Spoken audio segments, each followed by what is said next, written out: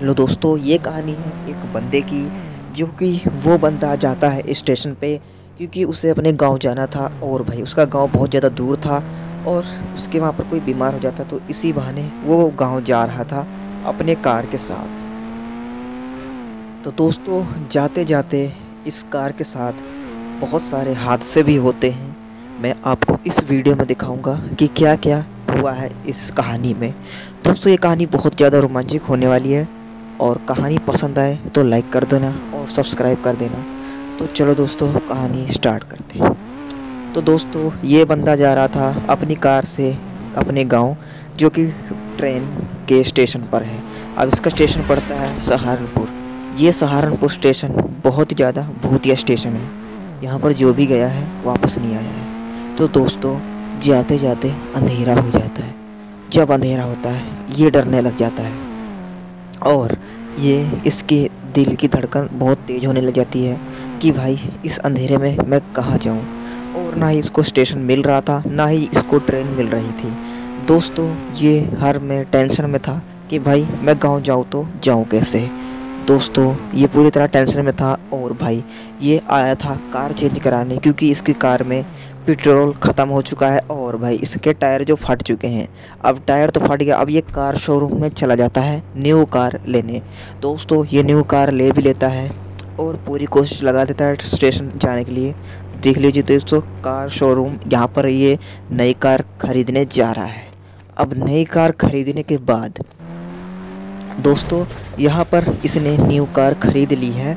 अब new car लेके वो चला जा रहा है स्टेशन के पास। अब वो स्टेशन इसे नहीं पता कि वो स्टेशन भूतिया स्टेशन है वो स्टेशन बहुत ही ज़्यादा भूतिया है, क्योंकि भाई, वहाँ पर 24 घंटा आपको परछाई आत्मा सब दिखेंगे। दोस्तों, वो स्टेशन पर बहुत ही ज़्यादा ख़तरनाक हादसे हुए हैं, जो कि इस कहानी में बताया गया है कि स्टेशन पर बहुत सारे आदमी की मृत्यु हो गई है और वो उनकी आत्मा अभी भी वहीं पर भटक रही है। दोस्तों, ये बंदा वहीं जा रहा है, जहाँ पर इसका स्टेशन वहीं पड़ता है ना? तो दोस्तों, ये वहीं जा रहा है और इसका स्टेशन सहारनपुर है दोस्तों। सहारनपुर का स्टेशन भूतिया स्टेशन है। भूतिया स्टेशन वहाँ पर जाने के बाद बंदा डर जाता है और उसे मौत भी आ सकती है।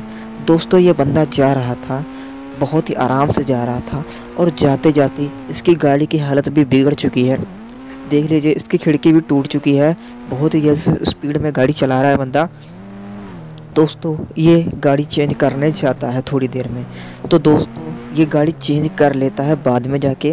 पहले अभी तो काम चलाएगा क्योंकि भाई इसकी डिक्की जो है टूट चुकी है और भाई हवा और ठंडी का मौसम है। हवा आते ही ये बीमार भी पड़ सकता है, इसीलिए ये जल्दी से अपनी गाड़ी चेंज कराना जाता है। दोस्तों, ये गाड़ी अपनी चेंज कराने वाला है और इस वीडियो को ध्यान से देखना, बहुत ही ज़्यादा रोमांचक है और ये उसी स्टेशन को ढूँढने में लगा है, जहाँ पर इसके गाँव का लगता है। अब ये गाँव जाने के लिए सारा दिन, सारी रात यहाँ पर नाइट कर रहा है और वेट कर रहा है कि भाई कैसे अब दोस्तों, इसने कार चेंज कर ली है, इसने न्यू थार ले ली है अपने दोस्त के फ़ोन करके। कि भाई मुझे एक न्यू कार चाहिए, दे देना, बाद में लौटा देगा।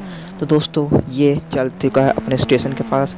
अब भाई इसके कह रहा था, इसका दोस्त कह रहा था, भाई इसमें पेट्रोल कम है पेट्रोल डला लेना, तभी ये गाड़ी आगे जा पाएगी।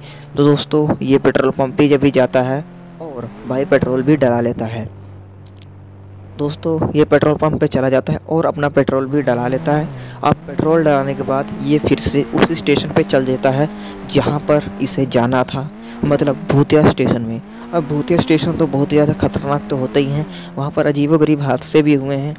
और आपको पता ही होगा तो दोस्तों, ये पूरी हालत में अपनी गाड़ी चला रहा था मतलब ये नशे में था ये बंदा। और भाई, नशे में तो पता ही है गाड़ी कैसे चलाते हैं। ये पार्टी में था तभी इसको खबर आती है। कि भाई बीमार है। तो दोस्तों, इसको फाइनली स्टेशन मिल जाता है। बहुत ही ज़्यादा ढूँढने के बाद इसको स्टेशन मिल जाता है। अब ये स्टेशन भूतिया स्टेशन है। अब यहाँ पर ये गाड़ी से जैसे उतरेगा, इसके साथ एक हादसा हो जाता है।